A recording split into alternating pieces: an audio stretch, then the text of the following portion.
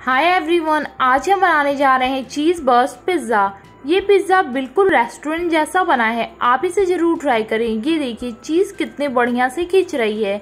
हम इस pizza recipe में पिज़्ज़ा बेस भी बनाएँगे। आप वीडियो को पूरा देखें। सबसे पहले एक बड़े बोल में हम one by fourth cup warm water लेंगे और इसमें हम वन टीस्पून चीनी लेंगे।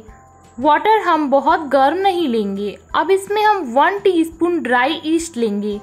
ईस्ट हमारा एक्टिव होना चाहिए।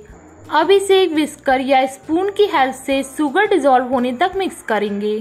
शुगर डिजोल्व होने तक मिक्स करने से ईस्ट बहुत ही जल्दी एक्टिव हो जाता है। अब इसे ढक के हम 20 मिनट के लिए रख देंगे। 20 मिनट के बाद हम देखेंगे कि ईस्ट बहुत ही अच्छे से एक्टिव हो गया है।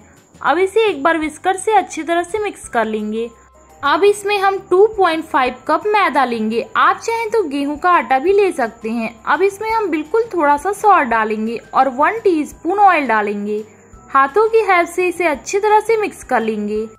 हमें इसे बहुत ही अच्छी तरह से मिक्स करना है। जब ये मिक्स हो जाए, तब हम इसमें थोड़ा थोड़ा करके वाटर ऐड करेंगे। हमने इसमें नॉर्मल वाटर लिया है, न गर्म, न ठंडा। हम एक साथ सारा वाटर नहीं ऐड करेंगे, थोड़ा वाटर ऐड करेंगे, फिर इसे मिक्स कर लेंगे अच्छी तरह से। और फिर बाकी वाटर ऐड करेंगे। हमें इसका डो सॉफ्ट बनाना है, इसलिए हम इसको बहुत टाइट नहीं बनाएँगे। एक बार हम इसे अच्छी तरह से गूथ लेंगे। अगर ये गीला हो गया है, तब हम इसमें थोड़ा सा ऑयल डालेंगे। ऑयल डालने से ये बहुत ही सॉफ्ट हो जाएगा।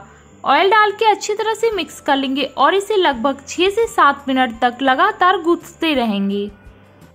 लगातार गूंथते रहने से डो बहुत ही सॉफ्ट हो जाएगा। ये देखिए, हमारा डो बिल्कुल सॉफ्ट हो गया। अब इसे हम एक बार अच्छी तरह से मिक्स कर लेंगे और एक मिनट तक गूथेंगे। अब हमने इसे अच्छे तरह से गूथ लिया। अब हम इसे ऐसे फोल्ड करते हुए, गुलाई में करते हुए रखेंगे और ऊपर से हम ऑयल फैला देंगे। हमें ऑयल ऊपर नीचे अच्छी तरह से फैला देना है। ऐसा करने से डो बहुत ही सॉफ्ट बनता है और पिज़्ज़ा बेस बढ़िया बनता है। अब इसे हम ढक देंगे। ढक के हम इसे एक से दो घंटे तक वार्म प्लेस पे रखेंगे गर्म जगह पे।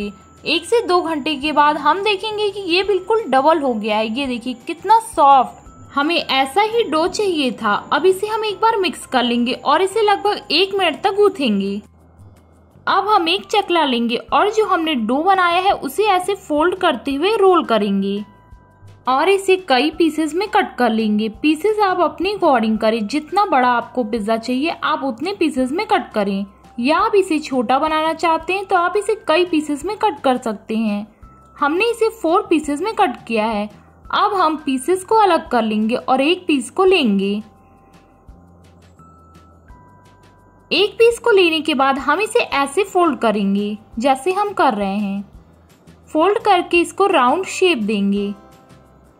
राउंड शेप देने के बाद चकली पर रख के ऊपर से फ्लोर डस्ट लगाएँगे और इसे चिपटा करेंगे।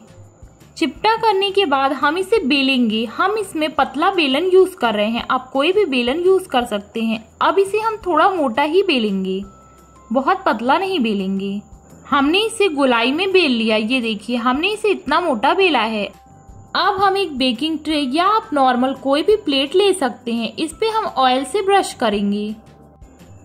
अब हमने इसे अच्छे तरह से ब्रश कर लिया। अब हम इस पे जो हमने डो बेला है, उसे रखेंगे और फॉर्क की हेल्प से होल करेंगे ताकि बेस अंदर तक पक जाए। अगर आप पिज़्ज़ा बेस घर पे नहीं बनाना चाहते हैं तो ये मार्केट में बहुत ही आसानी से मिल जाता है। अब जो हम आगे प्रोसेस बताएँगे, आप उसे करें। अब इस पे हम पिज़्ज़ा सॉस या टोमेटो केचप भी स्प्रेड कर सकते हैं, या आप सेजवान चटनी भी ले सकते हैं। हमने बॉर्डर्स को छोड़ के पिज़्ज़ा सॉस लगाया है ताकि बॉर्डर्स बहुत ही क्रिस्पी हो जाएँ। ये पिज़्ज़ा सॉस होममेड है। अगर आप इसे ट्राई करना चाहते हैं तो लिंक डिस्क्रिप्शन बॉक्स में दी हुई है। हमें इसे बहुत ही अच्छी तरह से फैलाना है। अब इसे हमने अच्छी तरह से फैला लिया। अब जो हम बॉर्डर्स छोड़े हैं, उसमें हम ऑयल लगाएँगे ब्रश से। या आप नॉर्मल हाथों की हेल्प से भी लगा सकते हैं। बॉर्डर में ऑयल लगाने से बॉर्डर्स बहुत ही क्रिस्पी हो जाते हैं और इसके कलर भी बहुत ही सुंदर दिखते हैं। पिज्जा सॉस के बाद अब हम छोटे छोटे पीसेस में कटे हुए प्याज डालेंगे। आप इसे किसी भी तरह से रख सकते हैं या आप इसे किसी भी शेप्स में कट कर सकते हैं। आप चाहें तो इसमें स्वीट कॉर्न भी रख सकते हैं और अब हम शिमला मिर्च रखेंगे। इसे भी आप किसी भी शेप्स में कट कर सकते हैं। हमने प्याज और शिमला मिर्च को चौड़े चौड़े पीसेस में कट किया है। आप चाहें तो टमाटर भी डाल सकते हैं।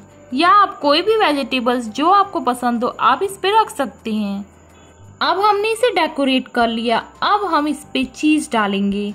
हमने मोजरेला चीज़ ली है। आप कोई भी चीज़ ले सकते हैं। अब इसे ग्रेट करते हुए खूब सारा डालेंगे।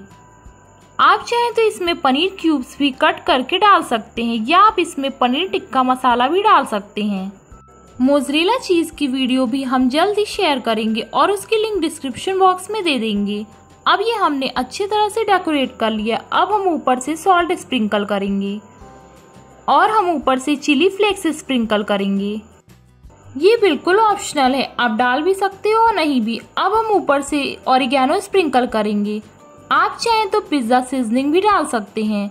अब हम ओवन को 10 मिनट तक प्री हीट कर देंगे। उसके बाद हम ये बेकिंग ट्रे को रखेंगे और 180 डिग्री सेल्सियस पे 20 टू 25 मिनट्स तक इसे बेक करेंगे। उसके बाद हम इसे निकालेंगे। अब हम इसे प्लेट में सर्व करेंगे।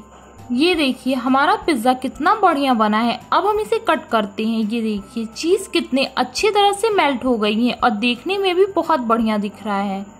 ये देखिए, चीज़ कितने बढ़िया से खींच रही है। पिज़्ज़ा बहुत ही परफेक्ट बना है। आप इस रेसिपी को ज़रूर ट्राई करें और अगर आपको हमारी रेसिपीज़ अच्छी लगती हैं तो please like comment and share करें और हमारे चैनल को सब्सक्राइब करना ना भूलें। Thanks for watching